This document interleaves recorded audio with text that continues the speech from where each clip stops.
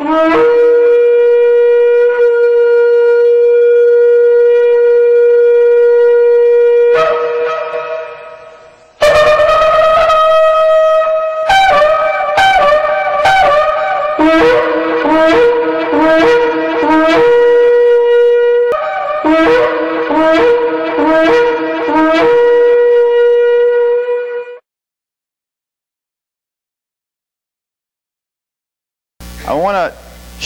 what happened um, to me Monday.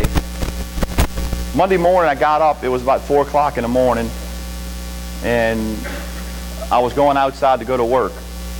And uh, I got up and got dressed, and it's still dark, and started walking to the house to start working on the house. And as I was walking, I told the Lord, I said, Lord, you know what? I'm just gonna, um, I'm just gonna go to work this morning. You know, I'm not going to sit down because, you know, I got to get this roof on and I got to uncover all this visqueen and, you know, my house is all, we building a house and part of the roof's up and the other half was not up. And I risk getting water in and all kind of stuff. So, but anyway, I, when I got to my truck, I grabbed my Bible and my Strongs and stuff like that anyway, and I brought it inside my house that, I'm framing right now. And I set it down. I said, just in case, you know. So I started taking the black visqueen down so I can start framing up the rest of the walls and all kind of stuff. It's, and I'm like, man, I need to stop and just sit down, you know. I mean, what am I doing? It's, it's 4 o'clock in the morning, about 4.15, and I just, I really need to get in the Word. So I sat down and I just started praying. I sat down at the table that I got in there and I I opened my Bible, and you guys know we've been in John. The last three weeks we read uh, John chapter 11, John chapter 12, which if you haven't seen or if you didn't hear those messages, uh, and last week uh, from John chapter 13, you really need to hear them. They uh, were definitely fresh and hot off the press that the Lord was sharing with us, and it was all about us having table time him wanting a, you know, wanting a table time. So that's what I did that morning. 4 o'clock, 4.15, I stopped, and I'm glad I did.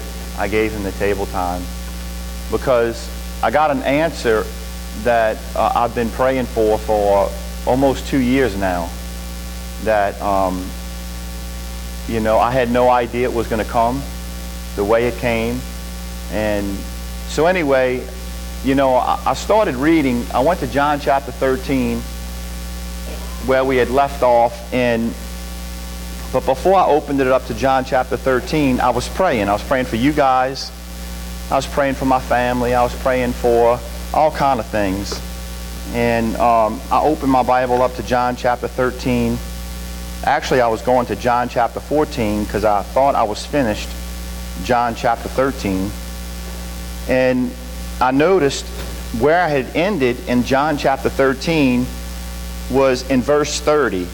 And it's when I told you guys about how, um, real quick, that, you know, Jesus had dipped the sop. And that sop, it means a piece of bread. But it was, uh, but from the Hebrew, when he dipped it, he dipped it into the cup of affliction. So he took a sop, which was a piece of bread, and when he dipped it, there's four cups in Passover. There's the cup of Passover, the cup of affliction, the cup of redemption, and the cup of Elijah. So when he dipped his sop, he dipped it in the cup of affliction, and that's the cup that the Jews pour out. They don't drink of. Okay? They'll, eat, they'll usually take their little finger and dip it in there, and they'll, you know, they'll say blood, and then frogs and lice, and they'll go down to ten plagues, and that is to be poured out on Egypt and sinners. So they don't partake of that cup, the cup of wrath, the cup of affliction. But that's the cup that Jesus dipped the sop in and gave it to Judas. Because Judas, you know, what he was saying, Jesus' own friend, his betrayer, uh, and because of this, he was given a sop dipped in the cup of affliction at the Seder meal and the cup represents the plagues of Egypt or in Revelation.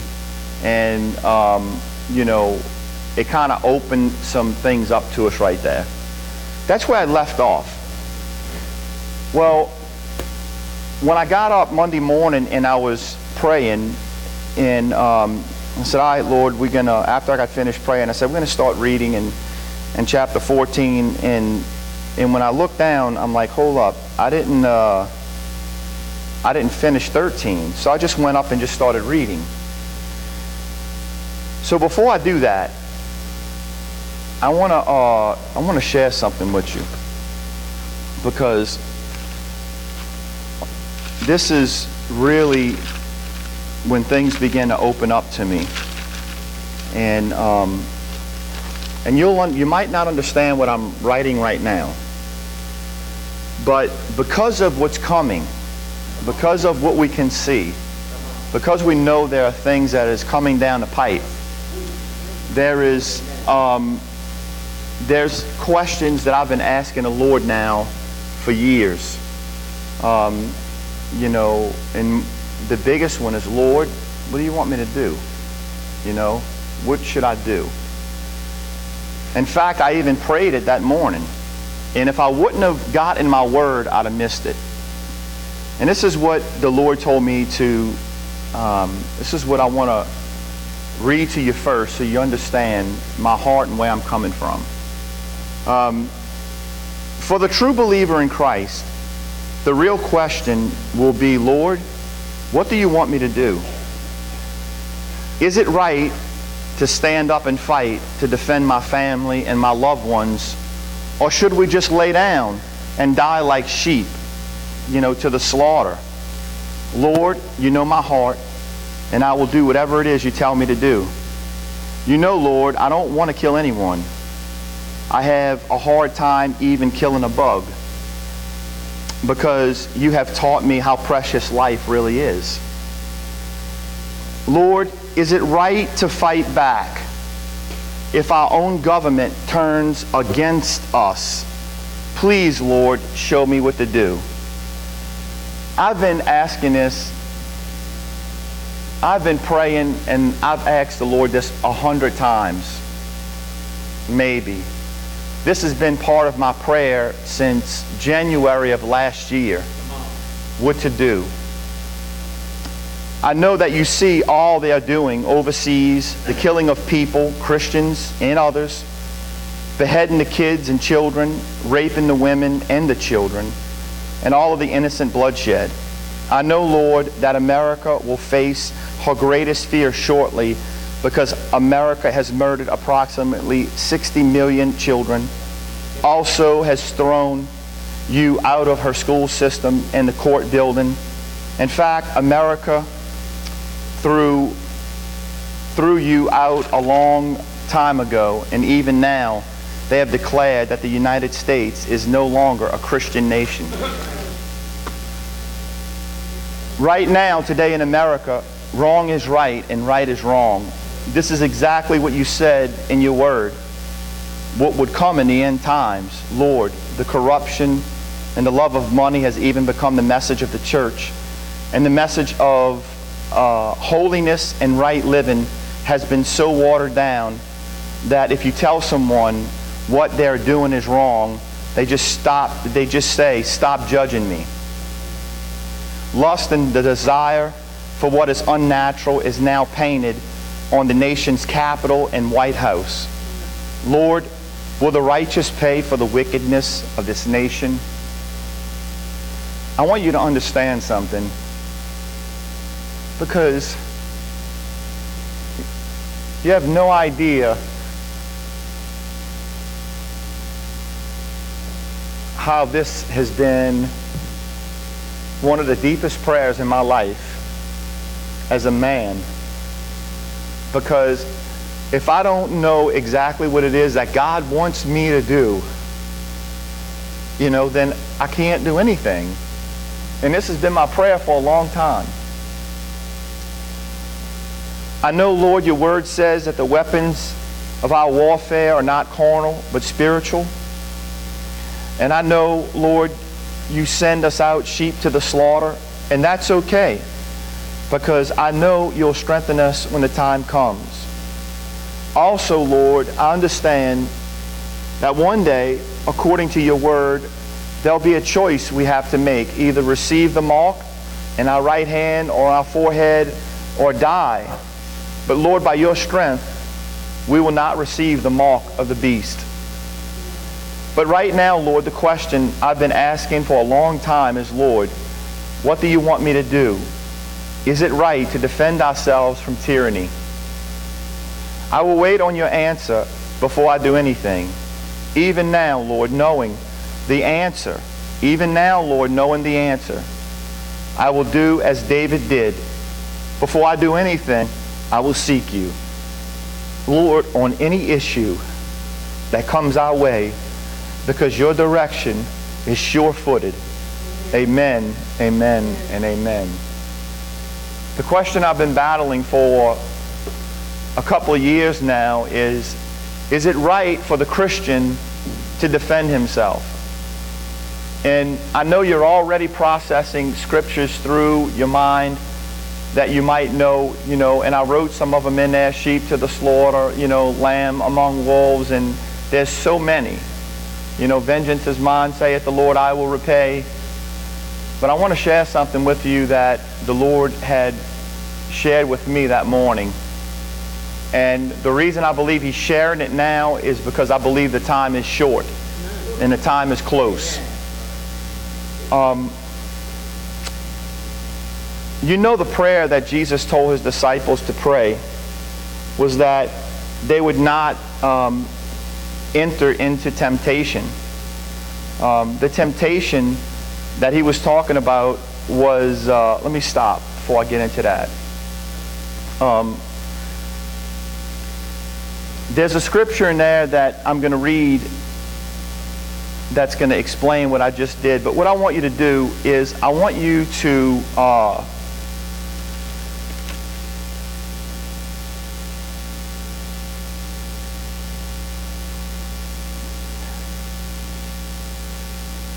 Some of the things that I'm going to be getting into in probably the next couple of weeks is number one, the Lord gave me when I was sitting down there that morning a real commander in chief compared to a false commander in chief. Number two, David's mighty men and Jesus' mighty men. I'm going to talk about it. Um, Number three, Ecclesiastes chapter 3. There's a time for everything. I'm going to talk about it. A time for war, a time for peace. Number four, a true government versus a false government. I'm going to talk about. Should we obey tyranny? Number five, fight or flight. Luke 22. Shall we smite with the sword? The disciples was not wimps. Number six, now I say, sell your garment and buy a sword. Number seven, I take my orders from the real commander in chief. Number eight, a passion to build and not to, uh, to tear down. David was unable to build the house of God due to the bloodshed, but it was his son Solomon, the father of peace, that was able to build the house of God. And we know the house of God is people. Number nine, facing our greatest fears. And number 10, beating our plowshares into swords. That is what I'm going to be discussing probably the next couple of weeks if God permit. Um, but today I want to kind of give you an overview of where the Lord had led me.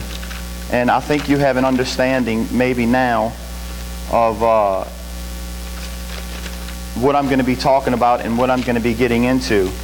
I believe personally um, that if you're a Christian, this has been the hardest thing for me to face. I say face or to ask the Lord as a Christian, Lord, what is it right for me to defend myself, to defend my family, biblically? I know what the Old Covenant says. I'm well rehearsed, you know, and I, I know all about what happened back then. But the scriptures that are in the New Testament. You know, we battle not against flesh and blood. Put on the full armor of God. The weapons of our warfare are not carnal, but, you know, spiritual to the, you know, mighty through God to the pulling down of strongholds. Does this, you know, is, is God trying to tell us that you know, we're not supposed to protect ourselves?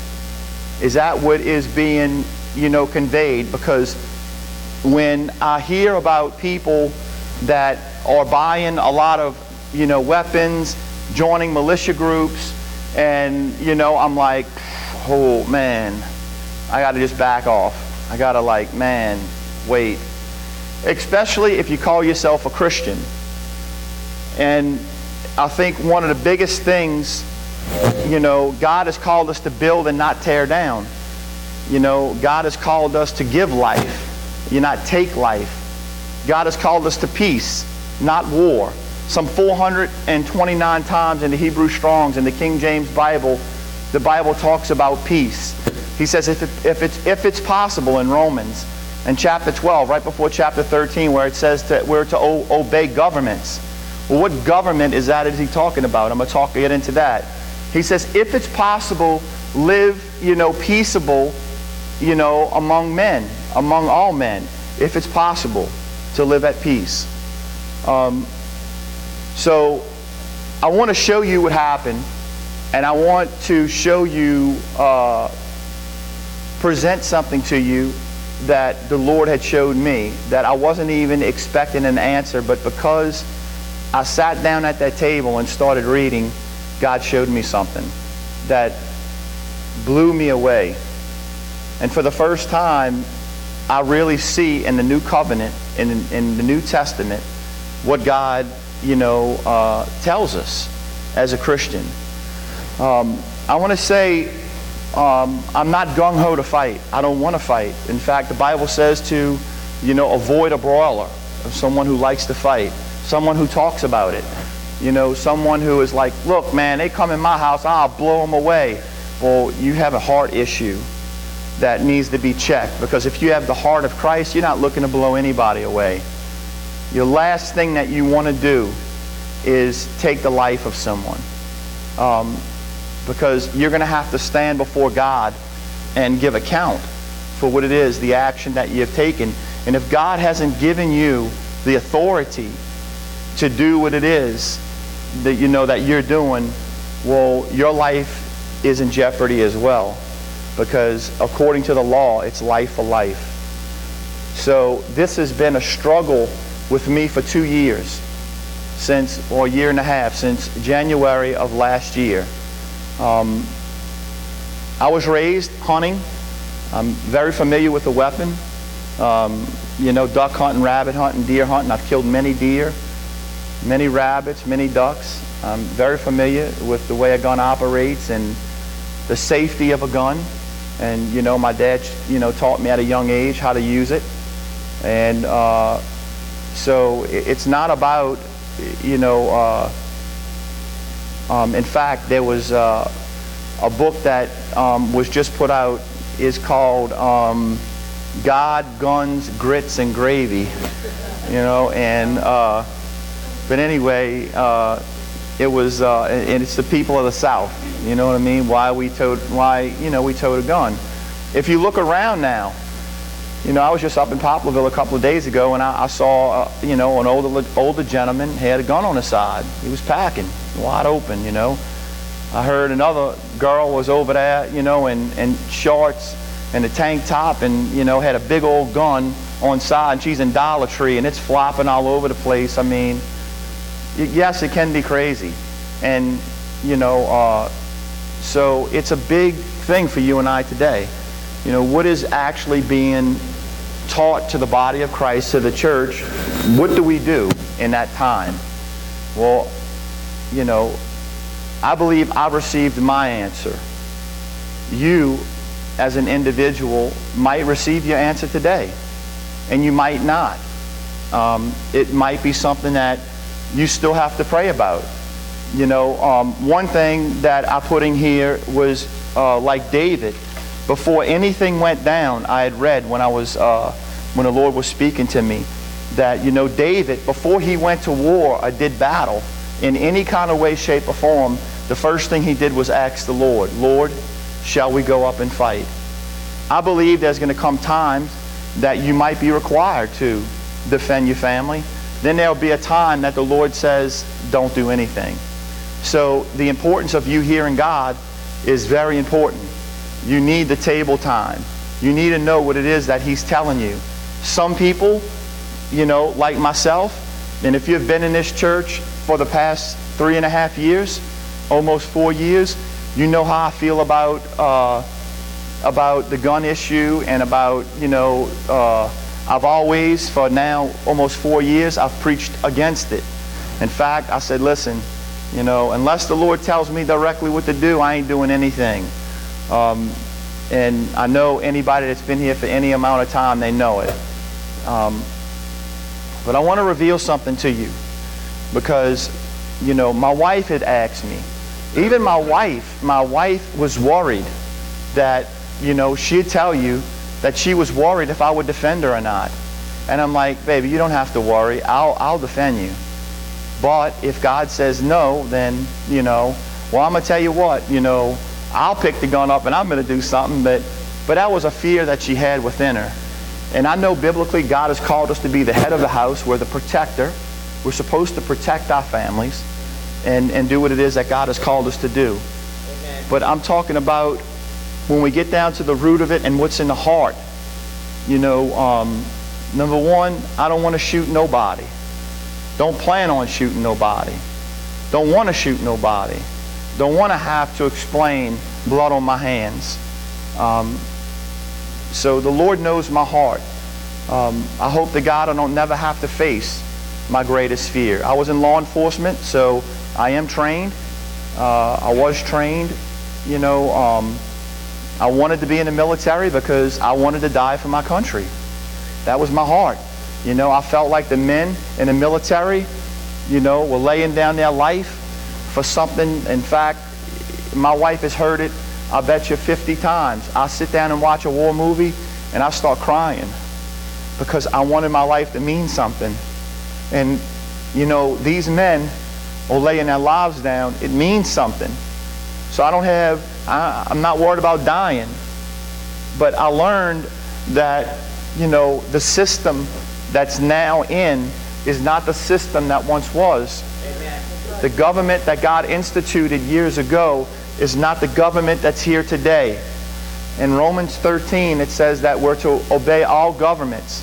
You know, that uh, because it's God that placed these in power. Well, I, I tell you what, I beg to differ that it, this government tyranny system, this isn't the way that God had set this country up. Tyranny has got in, and, uh, and now they're tearing down everything that God has instituted. So no longer is this government ordained by God. It is a government that is filled with tyranny and tyrants and, and all of this. So as a Christian, what do we do? Am I talking about firing at a tank coming down the street?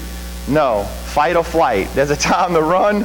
You know, Paul ran, Peter ran, they all took off out the garden. Am I going to shoot at a tank that's coming down the street in my front yard? You know, absolutely not. You know, no, indeed not. I mean, that'd be absolutely crazy. There is a time, and that's why you need to be close to the Lord, fight or flight. And um, Lord, just tell us what you want us to do. So, this is where this message is coming from.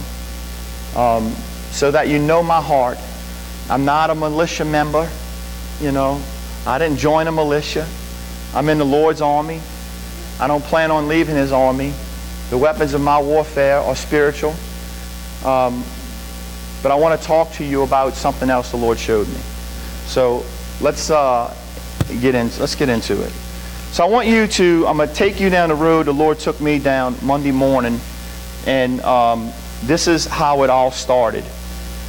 Um, so John chapter uh, John chapter 13, verse 31, I'm to start reading because this is where I had left off. So after I finished praying, I started reading, and this is what I read. Therefore, when he was gone out, Jesus said, Now is the Son of Man glorified, God is glorified in him.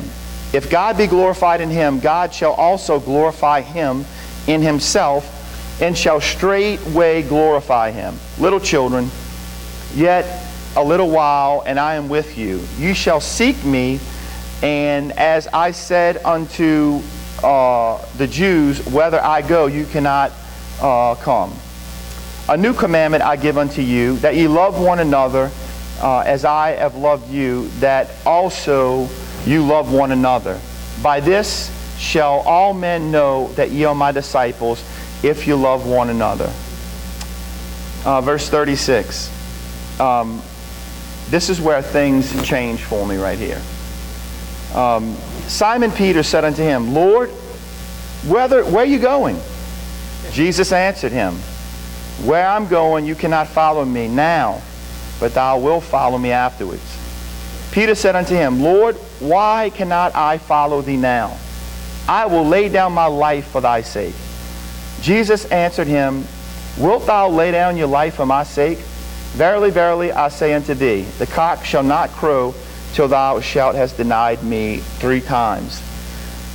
Right there, I was like, all right, Lord, you know, what's up with, you know, uh, the, this three times, you know, and so if I'm going to find out more about what's happening here, I want to read it in all the accounts, okay? I want to find out what's happening.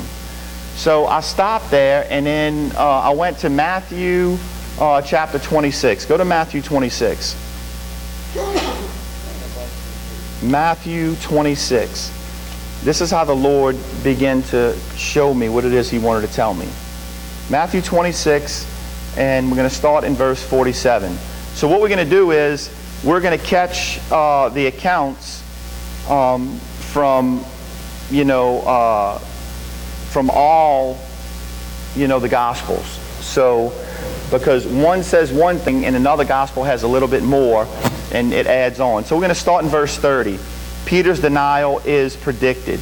Um, he says, And when they had sang a hymn, they went out into the Mount of Olives. Then saith Jesus unto them, All ye shall be offended because of me this night. Wow. For it is written, I will smite the shepherd, and the sheep of the flock will be scattered abroad. But after I am risen again, I will go before you into Galilee. And Peter answered and said unto him, Though all men shall be offended because of thee, yet will I not be offended.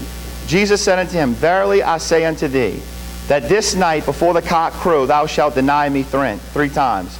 Peter said unto him, Though I should, uh, he, Peter said unto him, Though I should die with thee, yet will I not deny thee. Likewise also said all the other disciples. I want you to realize something. This is the end of Jesus' life. He's just coming from the Passover Seder. He's talking to him and he's letting him know that you're going to deny me. So um, this is now going into the fourth watch, which is the last hour of um, right before the cock crows. The cock announces that the new day is dawning. Okay, so they're in the fourth watch. The sun is about to rise. So this is a picture of the end times. Do you understand that? The fourth watch is the last hour before the sun comes up. So this is also not also uh, not only is it a picture there of what's going on, but it's a picture of what's going to happen with you and I in the end. Okay, right before the Lord comes back. So it says in verse 36, he says, um, "Then cometh Jesus with them unto the place called Gethsemane." and said unto the disciples, Sit ye here while I go and pray yonder. And he took with him Peter uh, and the two sons of Zebedee, that's James and John, and began uh, and began to be sorrowful and very heavy. And then saith he unto them, My soul is exceeding sorrowful, even unto death. Tarry ye here and watch with me. He knew it was coming, okay? And he went a little further and fell on his face and prayed, O my Father, if it possible, let this cup pass from me, nevertheless, not as I will, but as thou will. There's coming a time that you and I might have to face this cup, okay?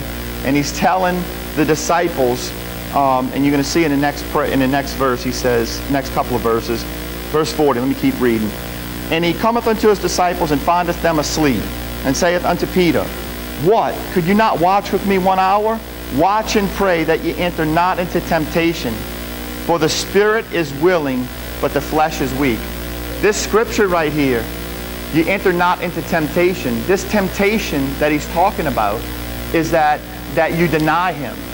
That's what he's talking about right here because Jesus is predicting the denial of, uh, of Peter. He tells him what he's going to do. But in the end times, the temptation in the end is going to be so great that you're going to be tempted. Pray that you're not tempted to deny him because in the flesh, that's what it is that you're going to want to do. You're going to want to deny him, whether it be for, you know, uh, to live, you know, or to eat, or whatever it might be. And, um, and he went away again the second time and prayed, saying, Oh, my Father, if this cup, um, if this cup may not pass away from me, except I drink it, thy will be done. This is the cup of death that Jesus is about to die. This is the cup that one day that you and I might have to partake from.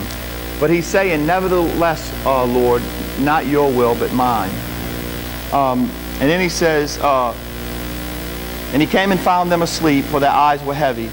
And he left them and went away again and prayed a third time, saying these words. Then cometh he, his disciples, uh, and said unto him, Sleep now and take your rest. Behold, the hour is at hand. The Son of Man has been, betrayed, has been betrayed into the hands of sinners. Rise and let us be going. Behold, um, he is at hand that doth betray me.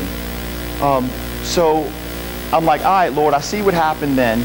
Now I want you to go to Mark chapter 14. Let's see what's going on there.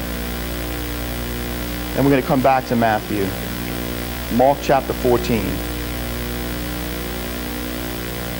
Mark 14, verse 43.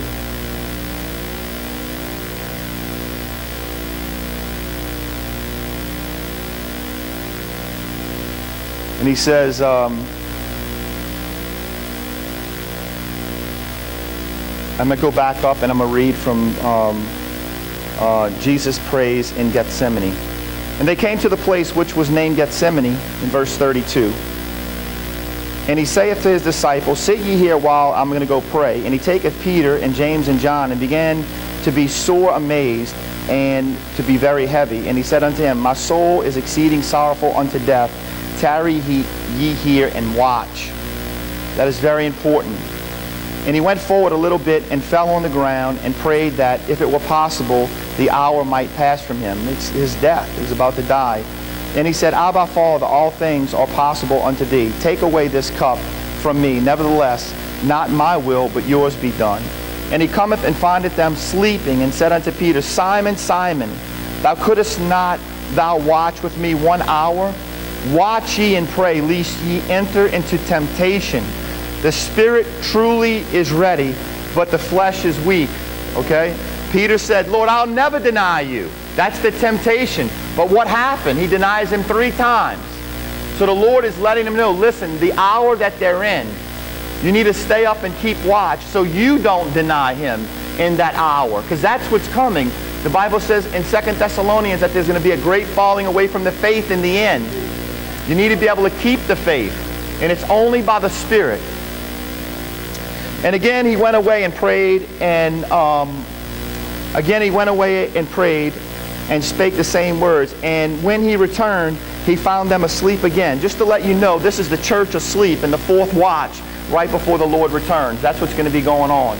The church is asleep in the last hour right before the Lord comes, right? And, um, and when he had returned, he found them asleep again, for their eyes were heavy. Uh, neither wist they, uh, um, neither what they knew what to, to answer him. And he cometh a third time and said unto them, Sleep on now and take your rest. It is, uh, it is enough. The hour is come. Behold, um, the Son of Man is betrayed into the hands of sinners. Rise up and let us go. Lo, he that betrayeth me is at hand. Immediately, and immediately while he was yet, uh, while he yet spake, come Judas, one of the twelve, with him, and a great multitude with swords and staves from the chief priests and the scribes of the elders. And he that betrayed him had given them a token, saying, Whomsoever I shall kiss, the same is he that uh, you take him, and lead him away safely. Uh, and as soon as he was come, he goeth straightway to him and said, Master, Master, and kissed him. And they laid their hands on him and took him.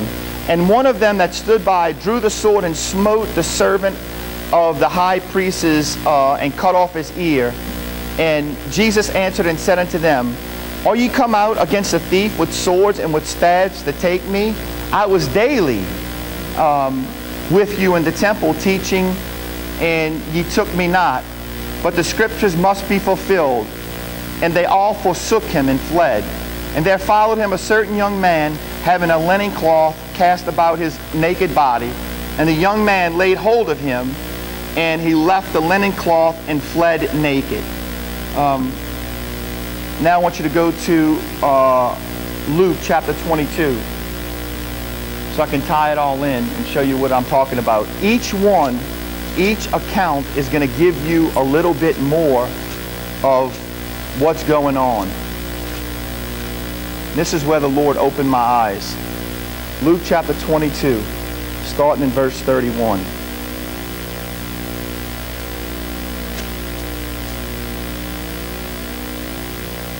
Christ predicts Peter's denial. And the Lord said, Simon, Simon, behold, Satan hath desired to have you that he may sift you as wheat. But I have prayed for thee that thy faith fail not. That's the whole deal about the temptation. And when thou art converted, strengthen thy brethren. And he said unto him, Lord, I am ready to go with thee both into prison and to death. I mean, how many people say that right now? I'll die for Jesus. And he said, I tell thee, Peter, the cock shall not crow this day before thou shalt thrice deny me that ye even know me. And he said unto them, When I sent you out with purse and scrip and shoes, lacked ye anything? And they said, Nothing. Then said he unto them, But now, he that hath a purse, let him take it, and likewise his scrip. And he that hath no sword, let him sell his garment and buy one. For I say unto you, that this that is written must be accomplished in me. And he was reckoned among the transgressors. I'm letting you know right now, you will be reckoned among the transgressors. You know that, right? You won't go down in history as, you know, they're going to say that you're a transgressor of the new law. And you're going to go down as a transgressor, the new government system. Now watch. And for I say unto you that this that is written must be accomplished in me, and he was reckoned among the transgressors. For the things concerning me have an end. And they said, Lord, behold, here are two swords. And he said unto them, It is enough. This scripture up here really got me. This scripture up here really got me. And I'm going to go back and read it to you again. Because this is when the Lord spoke to me. So you see, you didn't get this account in the other Gospels. You didn't get this. Wow. But until you read the accounts in all the Gospels, so you could piece it all together to see what's happening and what's going on, you won't get the clear picture of what he's saying. Now, first thing I want to tell you is that he says Jesus, and I'm a, I'll read on, is their protector. In fact, it says that um, when they came in to arrest them, you know, um, they was grabbing them all, right? But Jesus said, wait, hold on a second. You know, uh, you know, they ain't done anything. It's me who you seek. So here it is, the scripture is being fulfilled, and I'm going to read it, that it says, Lord, I've lost none that you've given me, other than Judas, the betrayer. So he is their protector. He is the shepherd, protecting his sheep. It's me you've come after, not them. So scripture might be fulfilled that he lost none save Judas, the, the, uh, who betrayed him, but was supposed to be lost. Okay, that was already preordained. That was going to happen. So that the scripture was fulfilled, the shepherd lost none of his sheep. He was their protector. He said, When I sent you out, and he said unto them, When I sent you out without a purse, in a scrip, a purse is a money bag, a scrip is a, a bag, a, a tote bag, and shoes, did you lack anything? And they said, Nothing. Then he said unto them, But now. Why is he telling them, But now? Because you see, he's with them now. Right now, he's with them. He was their provider. He took care of them. He gave them what it was that they needed. But now, I send you and I tell you, he who has a purse, which is a wallet, take it. And extra clothes, bring them in your bag. And if you don't have a sword, buy one. What? It never grabbed me until right here. I've heard that scripture. People says, "Oh, the Lord says buy a sword." It's okay for us to defend ourselves, you know, because He said buy a sword. I'm like, look, that's the only scripture that's in there. You know, I can go through countless of other scriptures that just kind of, you know, doesn't. But there's one thing in this scripture that God apt it floored me with. And I'm going to reread it to you again. And he said unto them, When I was with you, uh, when, I, when I sent you out without purse and scrip and shoes, did you lack anything? And they said, Nothing. Then he said unto them, But now, he that hath a purse, let him take it. And I'm going to tell you what a purse is. A purse, a purse in the Hebrew Strongs is number 905. It's balatation, which means money bag. So it's the Greek word balatation, which means money bag. Take your money bag. So he, but now, he that hath a money bag, let him take it. And likewise his scrip, that's a traveler's bag. That is uh, the Hebrew, that's the Greek number 4082. It's a pira. Take your traveler's bag. Take your money bag and take your traveler's bag. And he said, uh, And he that hath no sword, let him sell his garment and buy one. Whoa. What did you say? He did not tell them to sell their boat. He did not tell them to sell some fish. He did not tell them to sell something else, he said, sell your garment. Your garment is actually the Greek word a himitation, himitation, which means clothing or cloak or robe to be dressed or be to or to be protected to protect your flesh. If he would have said anything else, I would have had an issue. But now he's saying, listen, I was your protector. He's still our protector. He still protects us. His spirit is here. But the next verse, that the, the, the writing the headline of verse 35 is Christ predicts the coming conflict. There's a conflict that's coming. Is it right for a Christian to defend himself? Absolutely. I can say it now beyond the shadow of a doubt. From the new covenant, that a Christian can defend himself. I still believe you have to take it to prayer, whatever the circumstances might be.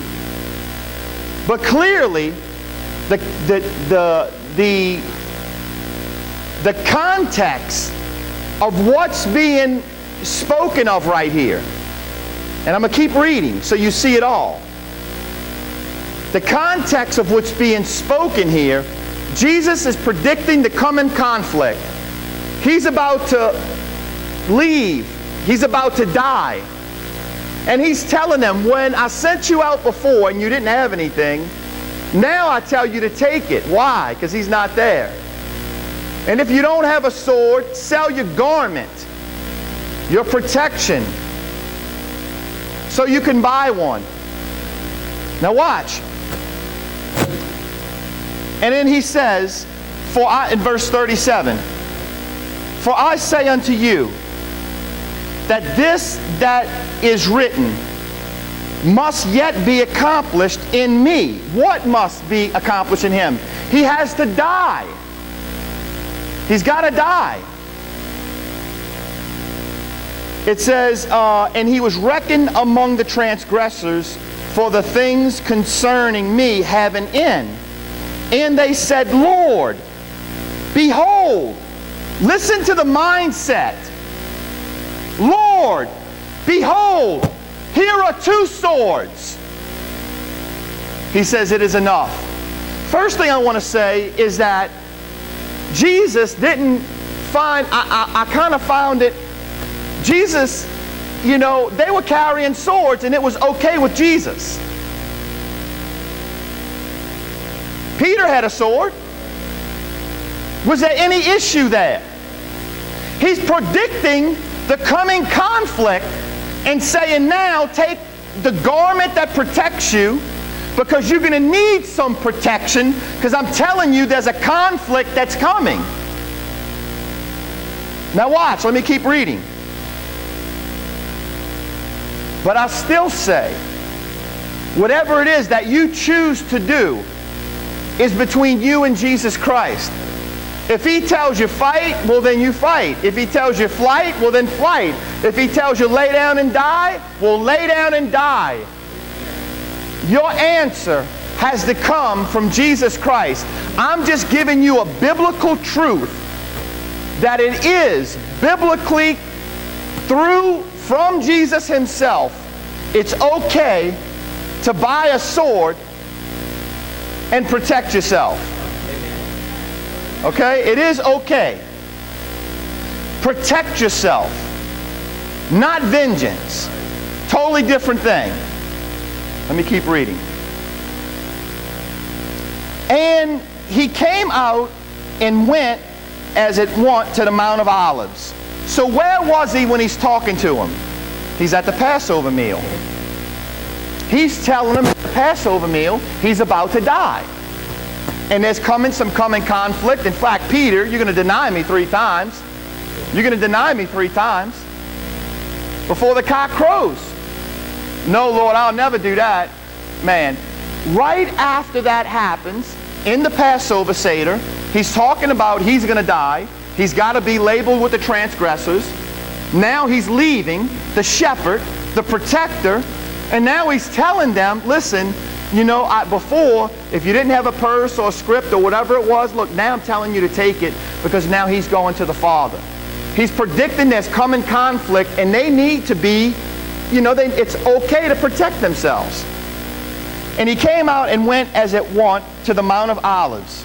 And his disciples also followed him. I like this because unless you go to all the accounts, you'll miss it. And it's got to be in the context of what he's talking about. So any scripture that you use, make sure you use it's being used in the context because we wasn't called to war. He's not talking about war, he's talking about defending yourself. You know what I'm saying? And he came out and went as it was to the Mount of Olives, and his disciples also followed him. I'm going to show you the mentality of what's happening. And when he was at the place, he said unto them, Pray that you enter not into temptation. Wow. That means, look, in the end, when things really start going down, you better be praying that you don't enter into the temptation of denying him and leaving him. That's what he's talking about right there. I know I broke it down, went into the Hebrew, uh, from the Greek into the Hebrew to find out. I wanted to know exactly what temptation he was talking about and that's the the the the the, uh, the, the context is talking about Peter's denial and all the things that's going on. That's the temptation. Satan wants to sift you as wheat, right? To see if there's something in you. Believe me, in the end time, you're going to be tested. And he says, he says, pray that ye enter not into temptation. And when he was withdrawn from them about a stone's cast, he kneeled down and prayed, saying, Father, if it be willing, remove this cup from me. What cup is that? He's about to die. Nevertheless, not my will, but thine be done. That's our prayer to the Lord. Lord, if you've called me to die, then I'll die. It's not what I want. Understand? Because if Peter would have stood up and said, Yeah, I'm one of his disciples, he would have died right there with him. You understand? And there appeared an angel unto him from heaven, verse 43, strengthening him. And being in agony, he prayed more earnestly. And his sweat was uh, as it were great drops of blood falling to the ground. And when he arose from the prayer and was come to the disciples, he found them sleeping for sorrow. And he said unto them, Why sleep ye? Rise and pray, lest ye enter into temptation. This is the last hour. This is the final hour, a reflection of what's going to happen in the end. And while he yet spake, behold, a multitude. And he that was called Judas, one of the twelve, went before them, drew near to Jesus to kiss him. But Jesus said unto him, Judas, betrayest the Son of Man with a kiss? Verse 49. When they which were about him saw what was going to follow, they know what was coming. They said unto him, Lord, shall we smite with the sword? The mentality of what the Lord had just spoke to them about he that doesn't have a sword, let him buy a sword, him producing, uh, uh, talking about the he, uh, knowing, foreknowing the coming conflict, these disciples was not, you know, uh, men that just wanted to run off and leave. These guys were bad, son. They would have said, Lord, do you want us to smite? Peter, the next verse, pulls out a sword, whacks off the ear of, uh, of Malchus the priest, the mentality of them was, hey, my master said buy a sword. And if David's mighty men were bad, what do you think that Jesus was walking around with? That's right. Amen. They were ready. If Jesus would have said smite, they would have smoked. They were looking for them the orders from the Lord. Why did Jesus stop them? Did he tell them to get rid of their sword? No. Peter, put up the sword. Let me keep reading. And one of them, verse 50, they're asking, Lord, tell us what to do. And one of them smote the servant of the high priest and cut off his right ear. And Jesus answered and said, Suffer ye thus far allow this to happen. Why? Because the scriptures had to be fulfilled. Amen. He had to tell his disciples, let it happen. And they backed off. Amen.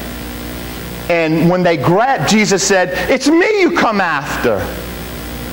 It's not them. And they all fled because they were afraid.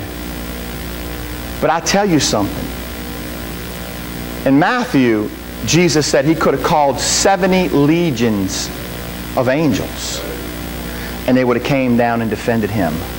He could have called the, the legion of angels to come down and defend him or he could have just turned his disciples loose on him. I believe David had mighty men and David was a picture of Christ. And Christ sits on the throne of David. Those guys that was hanging around Jesus, those, those were some rough fellas. They were carrying swords. Do you think they was, you know, they was wanting to put their hands on Jesus when he's got, you know, 12 that's sitting around them, you know, and you don't have an issue at Rome, but the religious system is wanting to kill him. They were, you know, they wanted to put hands on him. But I'll tell you something. All he would have had to do was give the word.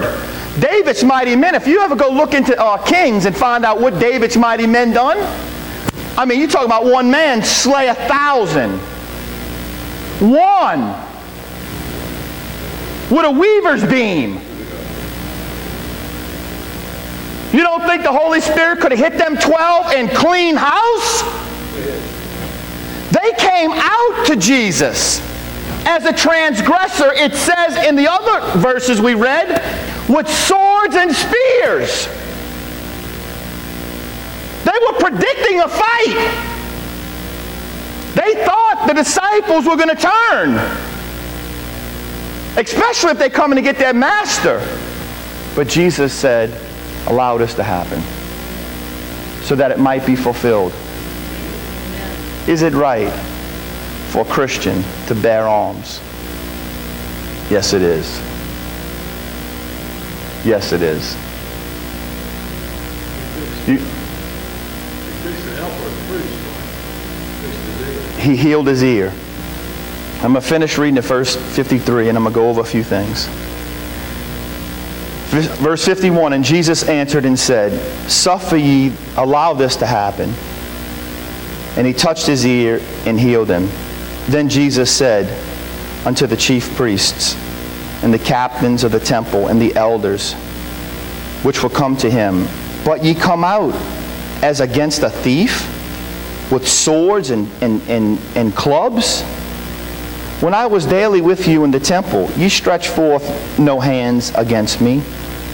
But this is your hour and the power of darkness. And then the next one is Peter denies Jesus. I was praying and have been praying and asking the Lord. And I'll give you guys time to uh, ask me questions or voice your opinion um, shortly afterwards. We have communion today. And what I thought was really amazing is that, you know, the way communion fell out this month, they was at communion. They were at the Seder, Seder Passover when the Lord revealed it to them. And here it is today. It's, you know, communion, which is about the Passover, and what Jesus then had revealed it, you know, to us, to me, to us. So if you've ever questioned, and it still might be a question to you, is it right, you know, to bear arms? Is it right to, you know, defend yourself? Well, clearly, Jesus said, you can defend yourself. You can, it's, you have the right to bear arms and defend yourself. Defend. Not, he knows your heart. Peter was the first one that pulled the sword, son, and he was going, I know he was going after his head, son. He wanted his head. But we know that when he struck off the ear, what it meant, you know, where the first Adam lost his hearing in the beginning, Jesus was restoring the hearing back into man. That was the last miracle that Jesus did because of what he, we know that. Um, I want to go back to Matthew. Go back to Matthew. And I want to complete finish finishing Matthew for you. I stopped for a reason. So go to Matthew um, Matthew uh, 26.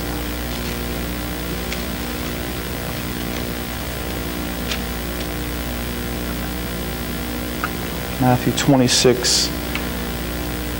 Um, in verse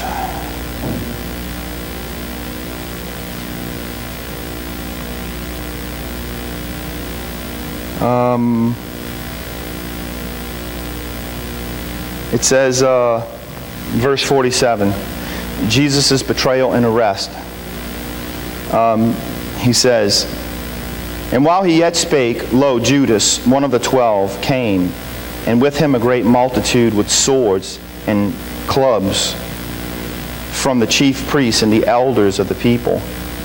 Now he that betrayed him gave them a sign, saying, Whomsoever I shall kiss, that same is he Hold him fast, take him firmly. And forthwith he came to Jesus and said, Hail, Master, and kissed him, Rabbi. And Jesus said unto him, Friend, wherefore art thou come? Then came they and laid hands on Jesus and took him, and behold, one of them which were with Jesus stretched out his hand and drew the sword and struck the servant of the high priest's uh, and smote off his ear. Now, I wanted to read all of it, give you all the, from each account of the gospel so you understand what's happening. All right, verse 52. Then said Jesus unto him, Put up again thy sword into its place. For all they that take the sword shall perish with the sword. Thinkest thou I cannot now pray to my Father, and he shall presently give me more than 12 legion? I'm sorry, I said 70. 12 legion of angels, that's 72,000 angels. But, but how then shall the scripture be fulfilled that it must be? And in the same hour said Jesus to the multitudes, Are ye come out against a thief with swords and staves for to take me? Daily you was with me teaching in the temple, and you laid hold, you didn't lay no hold on me. But all of this was done that the scriptures of the prophets might be fulfilled. Then all the disciples forsook him and fled. He says, Those who live by the sword, go back up. He said, Put up thy sword in its place, for all they that take the sword shall perish with the sword. For all they that take the sword will perish with the sword. That is a, um, you have to realize that we, now we understand the mindset of all four Gospels, the context of what's going on and what's happening. So, um, it doesn't mean, or Jesus didn't mean, or those who live by the sword will die by the sword. Jesus didn't call us to live by the sword. The only sword that he called us to live by is his word. Amen. But you know, you know that if you take up a sword in that time, it's a good possibility that you'll die by the sword. You know? But I wanted to show you biblically that it is right to defend yourself. It is right. Me go over a couple of things. Um, and we got about 15, well, about 10 minutes, and the kids are going to come in and we're going to have our communion real quick. Um,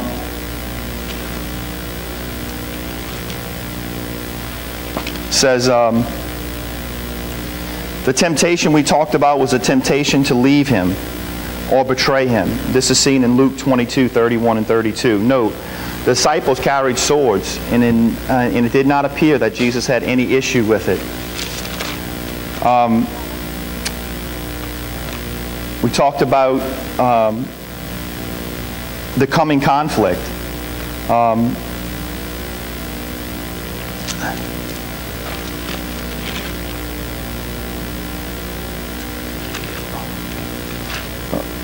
here, let me pick up where I left off before. It says, um,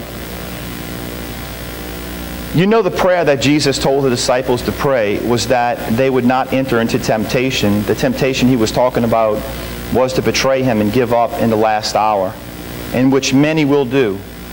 Are you awake and keeping watch so that you'll not fall into temptation of giving up and not fighting the good fight of faith? Or will you betray him, maybe for some food, or uh, for your kids' sake, or maybe your own life, or even the lives of your kids? Would you deny him? I pray whatever comes our way, uh, we will never, never deny him. Amen. Um, I want to talk about, uh, the Bible says, um, let me stop there. I got some things. So next week, if God permit, this is what I'm going to get into. A real commander-in-chief versus a false commander-in-chief. Um, David's mighty men and Jesus' mighty men. Ecclesiastes chapter 3, there's a time for everything. So all your questions about some of these things. A true government versus a, a false government. Should we obey tyranny? Um, what is tyranny? Read it to you. Tyranny is an oppressive power, every form of tyranny over the mind of men. Thomas Jefferson especially said, It's an oppressive power exerted by a government. The tyranny of a police state. A government in which absolute power is vested in a single ruler. The office, authority, and the administration of a tyrant. A rigorous condition imposed by an outside force or agency. Our Second Amendment right came from our forefathers who established, you know, the our right to bear arms, the Second Amendment. And the Second Amendment says this. The Second Amendment, it's a well-regulated militia being necessary to the security of a state, the right of the people to keep and bear arms is not to be infringed. The court reasoned that this right is the fundamental to the nation's scheme of ordered liberty, given that self-defense was a basic right recognized by many legal systems from ancient times to the present. And Heller held that an individual self-defense was the central component of the Second Amendment right. Moreover, a survey of the history also demonstrated clearly that the 14th Amendment's framers and ratifiers counted the right to keep and bear arms among those fundamental rights necessary to the nation's system of ordered liberty. That's our founding fathers who founded the nation on Jesus Christ. That government system gave us a right to bear arms to protect us from the very thing that is happening now. Even Jesus self, even Jesus Christ himself said that he who doesn't have, you know, uh, he who, uh, who doesn't have a sword, let him sell his garment, his covering, and buy one. Strictly for self-defense. Not that we're looking to, you know, do anything. Hopefully we won't have to uh, ever use anything like that. Number five, we're going to get into fight or flight from Luke 29. Shall we smite? Number six, now I say sell your garment and buy a sword. Number seven, I take my orders from the real commander in chief. Number eight, a passion to build and not to tear down. And David was unable to build because he had so much blood on his hands. But it takes uh, Solomon, his son, the father of peace, to build a house. That's you and I today. That's why it says, if it's possible to live in peace with all men, if it's possible. And that's in Romans chapter 12. And that goes into the next verse. It says, vengeance is mine, saith the Lord, I will repay. We're not looking to be, you know, someone comes and shoots somebody or kills somebody that you love. The vengeance part is, you know, God will take care of them. Don't go run out looking to kill somebody because that's vengeance. That isn't what God has called us to. You understand? And I'm so hesitant in this message to pick up a sword, which would be our gun today. You know, it is like, um, Lord, what do you want me to do? And when you realize that this prayer, I've been praying for almost two years now because of my family and the people I'm leading, to tell you guys this, you know, is a big thing. That it's okay to defend yourself, but your heart better be right. Your heart better be right. Because I believe you heard from my heart today. I don't want to. I don't want to. I don't even want to smash a bug. That's the God's honest truth. I'll move. If I lift the board and there's a worm there, I got to drag. I'll move the worm out of the way. You know, not that I'm into the green stuff and all of that, but look, I, you know, I under, you know I understand life, man. Life is precious. Life is important. Whether a bug lives a week or two weeks or one day, you know, God created him and he has a purpose. And the last thing I want to do is, you know, walk past and step on him and, and, you know, and take his life. That's how important life is to me. Number nine, which is going to be something, facing our greatest fears.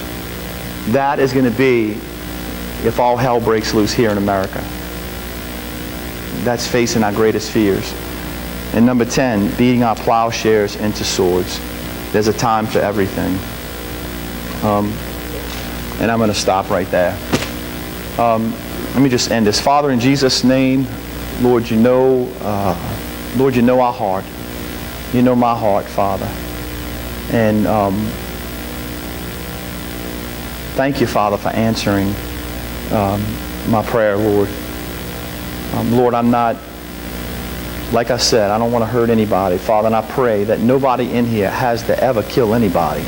That ain't what we're wanting. Father, we want to build a house. Lord, you called us to build houses, not tear them down. Father, our enemy is not people, Lord. It's what's behind it, the principalities, the spirits, Lord. So, Father, um, not only should we be more concerned, we should be more concerned about our spiritual battle than a physical battle. But Father, I thank you, Lord, that in your word you tell us it's okay to, for us to, to defend ourselves. But still, Lord, in every situation that we may come to, Lord, our prayer, and my prayer will be, Lord, what do you want me to do? Lord, you know, shall we smite? Because your answer might be, you know, no. So whatever may come our way, Father, we look to you in all things, just as David did, just as the disciples did in asking you. That's, uh, Lord, what do you want us to do? I thank you for giving, in, giving me uh, the understanding, Lord. And um, I pray, Father, that it'll uh, give others an answer if they have had the same question. In Jesus' name, amen, amen, and amen.